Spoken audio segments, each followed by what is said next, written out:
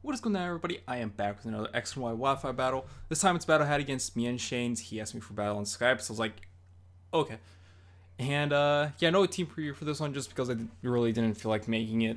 And yeah, so uh, gonna lead off with my Diggersby this game because I looked at his team. He didn't really have anything that could be a designated lead, so I figured, hey, lead off with Diggersby, just U-turn on whatever he wants to lead off with, or just go for whatever move and uh, he ends up leading off with his Goodra, uh, getting go for the return on that. Don't crit him. If I would have gone for a return, I probably would have killed him.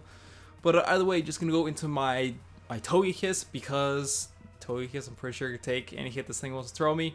Gonna go for the Air Slash right here, figuring that he will go into either his Entei or his Nidoqueen to resist the Dazzling Gleam. So I'm gonna go for the Air Slash. Managed to catch the Entei on the switch, score a crit on him, which really pretty much makes this Entei pretty useless.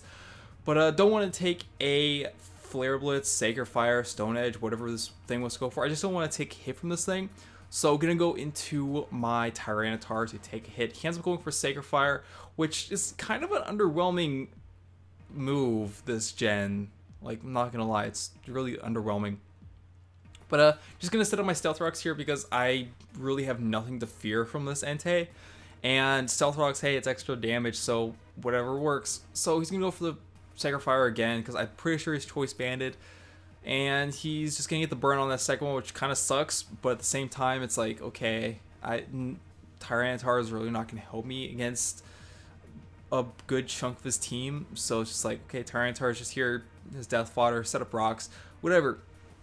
So gonna go for the pursuit right here as he ends up switching out his Entei because I didn't want him to keep his Entei for later. Even though the rocks are up and Entei would die on the switch in, he could still bring it on whatever to get a safe switch into something. Could have brought in on Diggersby because with Diggersby or Delphox because those are both my choice Pokemon. Could have brought in on one of those, let it die, see what I lock myself into. That kind of shenanigans. But ends up going into his Nidoking. Three for three on the Shinies on his part, but Shiny Nidoking, oh my god so cool this gen, just because the blue's darker. It's, it's, a, lot, it's a lot nicer. But uh, gonna go to my Diggersby here. Gonna go for the U-turn. I actually get a crit on whatever.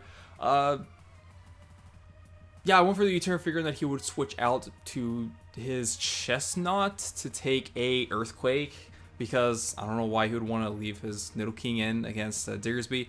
But he ends up predicting that, goes into goes for the Sludge Wave, predicting my switch into Togekiss to avoid an Earth Power.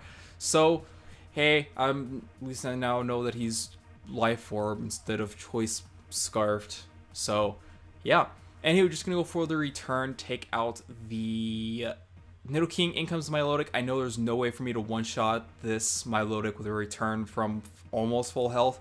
So I'm gonna go with my Hitmontop just to hopefully get some damage off on this thing.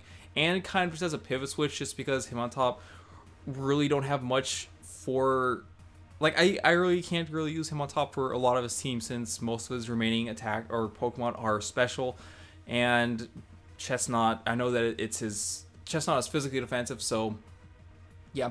Anywho, most of the battle he was, or the first chunk of the battle, he was complaining about, oh, you, you keep on getting all the crits and stuff. I need some hacks.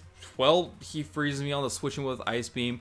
But thankfully, he actually goes for the Scald and thaws me out. And for those you don't know, Scald will thaw out frozen Pokemon, just like every other fire type move.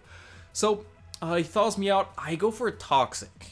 Now, this is kind of that was kind of one of my misplays this game. I made like three. I'm gonna say three misplays. Uh, first one, uh, going for, went for the toxic. I should have gone for the close combat right there because later in the game is where that kind of comes into play.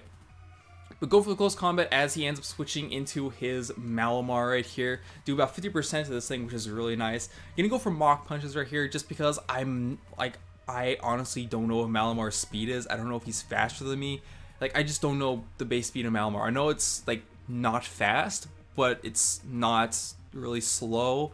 So I'm going for Mach Punches here, just uh, hoping, like, hey, maybe I could get some extra damage off on this thing, and this thing won't do much, but turns out he is Resto Chesto, so he will go for the rest right here. Thankfully, he didn't get any superpowers off, which would be bad for me, because then he'd be at, like, plus one with full HP. But right here, right here, I should have gone for the Mach Punch, and that Mach Punch would have helped me on this next turn. I also I, I went for close combat on that right there, case you couldn't tell. But uh if I had gone for the Mach Punch, then this U-turn right here would have killed. I even ran calcs and everything. Mach Punch would have done just enough for U-turn to kill Malamar at plus one defense, and I know that he's max HP. So, uh, because of the fact that I didn't go for the Mach Punch, I'm gonna have to switch something in to die from this thing, and I'm gonna be end up. It's going to end up being my Delphox, which sucks. I probably should have brought my Gourgeist in to die instead of Delphox. But um, yeah. So gonna go into Diggersby now, gonna U-turn, kill that thing off, and decide to go into my Gourgeist now because look at the rest of his team. He has Milotic, he has Gor or Goodra, and he has Chesnaught. So I and I have my Diggersby and my Gourgeist left. Now, the Pokemon I have left, I like during the battle I was thinking, okay, I have the I have what I need to win. It's just if I play it right.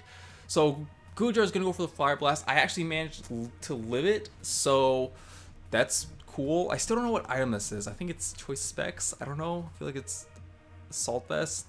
Whatever. I either way, I just managed to live the Fire Blast, get the Leech Seed off, get some extra recovery, which is great. Gonna go into my Diggersby because I figured, okay, Gourgeist was able to live a Fire Blast from that Goodra, so Diggersby should be also be able to live it. But he's also gonna expect me to switch out, so it goes into his Chesnaught. Uh, decided to just go for a U-turn here because I didn't want to hard switch into my my Gourgeist because I know that I have just enough HP to get up a sub.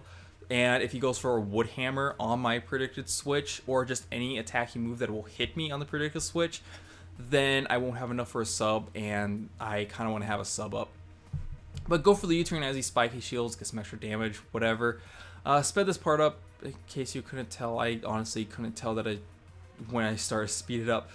But uh, gonna go for a sub on the switch out into Goodra. I went for sub because I was unsure maybe he does have a move to hit me with. If he does, then it shouldn't be able to hit Gourgeist too hard. A sub should be able to live it. But I went for sub because if he did also want to switch out into his Goodra, I could see what he wants to go for. I could get a safe Leech Seed off and then safely switch into my Diggersby uh, so that's pretty much what happens. I see that he's going for Dragon Pulse, and I'm once again I'm not too sure if he's locked into it or not. But uh, right here I'm just gonna go back into my Diggersby because I'm pretty sure I could take a Dragon Pulse, which he does go for again, and I do manage to live it, and I'm pretty sure I just kill this thing off with a return because at this point I'm pretty sure it's his game because Return won't be able to take out the Milotic, and he still has his Chesnaught left. Um, Chesnaught honestly wasn't too big of a problem because I do, do still have Gourgeist, which, like I said before, Chesnaught doesn't really have anything to hit Gourgeist with. But uh, right here, uh, way back when I went for the Toxic with Hitmontop on this thing, if I had gone for the close combat over the Toxic, there was a decent chance, like depending on this, if the Milotic was physically or specially defensive. I want to say it's specially defensive since he has a physically defensive Chesnaught. But if it was special defensive, if I had gone for the uh, close combat on the on the Milotic over the Toxic, then close combat would have done enough damage to that thing where return from Diggersby would have taken it out.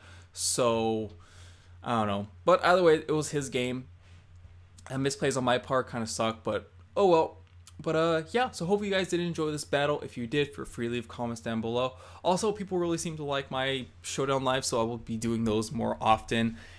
And yeah. So, anyways, oh, with all that stuff being said, thanks for watching and peace.